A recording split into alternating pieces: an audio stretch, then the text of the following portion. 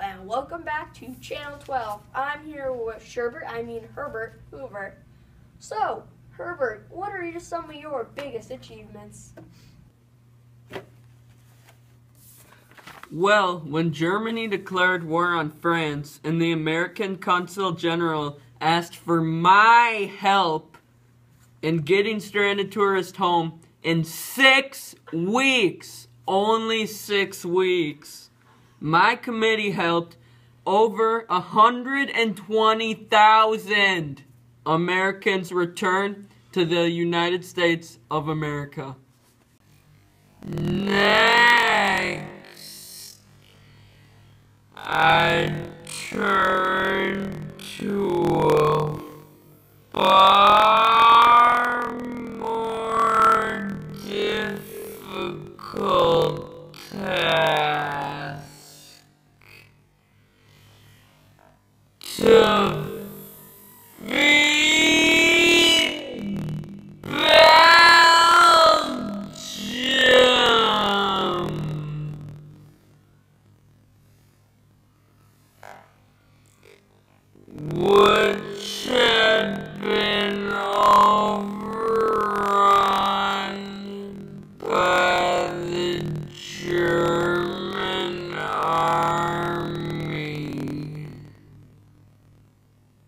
Very interesting, Herbert.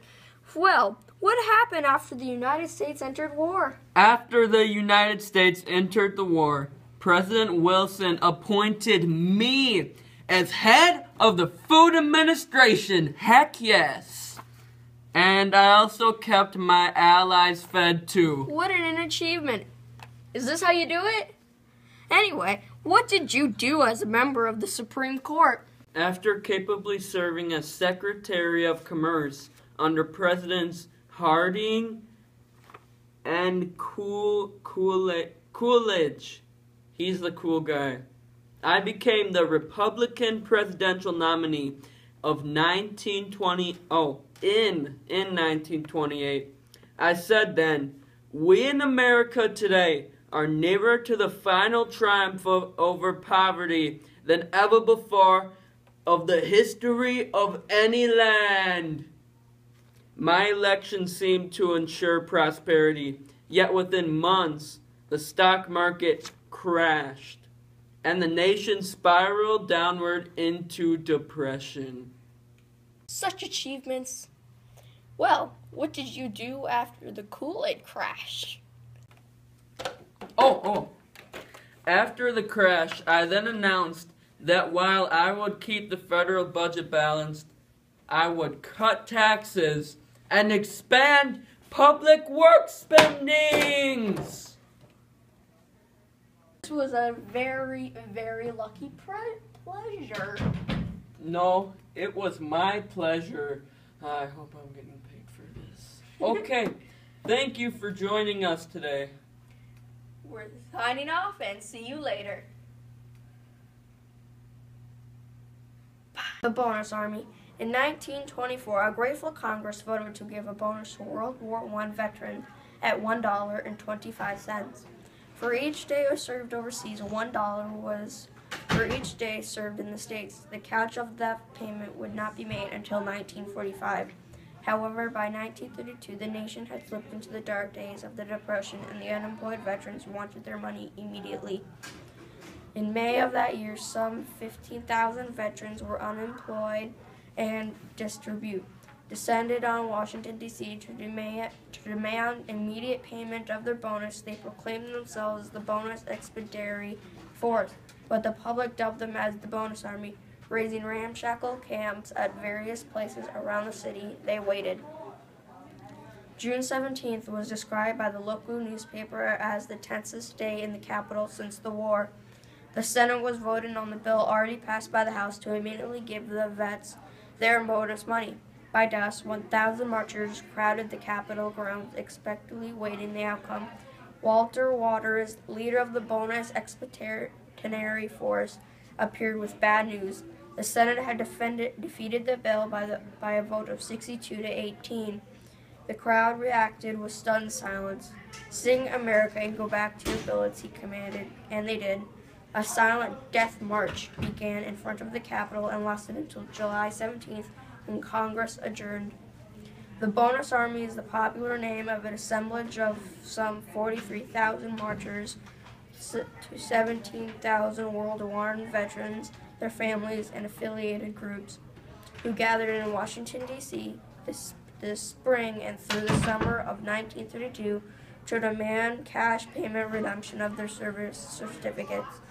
By nightfall, the BEF had retreated across the Anacostia River, where Hoover ordered MacArthur to stop. Ignoring the command, the general led his infantry to the main camp. By early morning, the 10,000 inhabitants were routed at the camp in flames.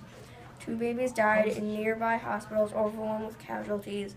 Elson, however, later wrote, The world scene was pitiful. The veterans were raged, ill fed, and then felt themselves badly abused. To suddenly see the whole encampment going up in flames just added to the pity. Once known as Boulder Dam, Hoover Dam is a concrete dam in the Black Canyon of the Colorado, Colorado River on the border of Arizona and Nevada.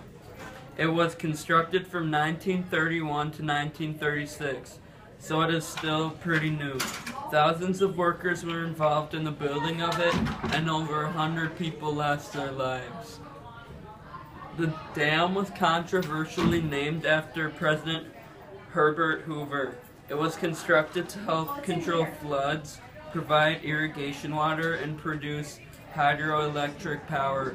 The dam is 1,244 feet in length and 726.4 feet high. Recently, there has been much controversy to the naming of the dam after President Hoover because many are saying that he drained our country of our money and spirit. National Industrial Recovery Act was a legislation enacted in June 1933. This was an act that allowed the president to regulate industry in an attempt to raise prices after severe deflation and stimulate economic recovery. This act was enacted during the Great Depression. The legislation was signed by Franklin Delano Roosevelt on June 16, 1933. The act was implemented by the NRA and the Public Works Administration. Very large numbers of regulation were generated under the authority granted to the NRA by the Act, which led to a significant loss of political support for Roosevelt and the New Deal.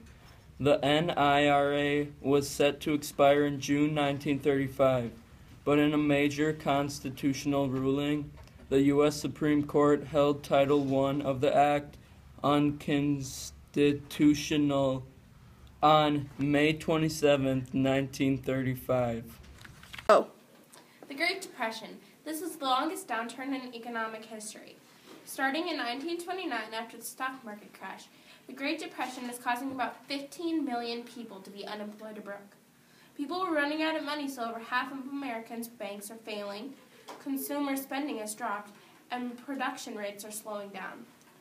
America soon starts depending on borrowed money. Many people are in debt, and the numbers of foreclosures are increasing heavily. We started a currency exchange which sent other countries into depression also. President Hoover which we will interview, assured us that it would be over soon. But was it? No. Matters began to become worse over the course of time, which led over 4 million Americans looking for work. The numbers of homeless people are rising also because of foreclosures, and now people are going broke too. Now we're on a bumpy road to recovery. The building of dams and hydroelectric power projects have helped with flooding problems and are helping people with paying for electricity. The Fireside Chats were a series of 30 evening radio addresses given by the United States President Franklin D. Roosevelt between 1933 and 1944. President Franklin D. Roosevelt took office in early 1933. As of now, he is the only, only president in America history to be elected to four consecutive terms. He is leading the nation through two of the greatest crises in our history the Great Depression of the 1930s and World War II, 1939 to 1945. And he has exponentially expanded the role of the federal government through his New Deal reform program and its legacy. From March 1933 to June 1944, Roosevelt addressed the American people in some 30 speeches broadcast via radio, speaking on a variety of topics from banking to unemployment to fighting to fighting fascism in Europe. Millions of people found comfort and renewed confidence in these speeches, which became known as the fireside chats. By the time Roosevelt took office in early March 1933, the American economy had declined to desperate levels, with the banks in failure, industrial pro- production crippled, and more than 13 million people unemployed. First inaugural address, Roosevelt sought to impart a new sense of confidence for the struggling nation, declaring that the only thing we have to fear is fear. During its itself. first several months, famously labeled the Hundred Days, Roosevelt Roosevelt's administration pre- presented a broad array of measures to Congress aimed at just ju- jump-starting America's America's economic recovery. This became the building blocks of the, his recovery New Deal. One of his earliest actions as president was to declare a bank holiday for a period of, during which all banks would be closed until they were determined to be solvent through federal inspection. Roosevelt, relief was a short term solution, but economic recovery was his long term goal.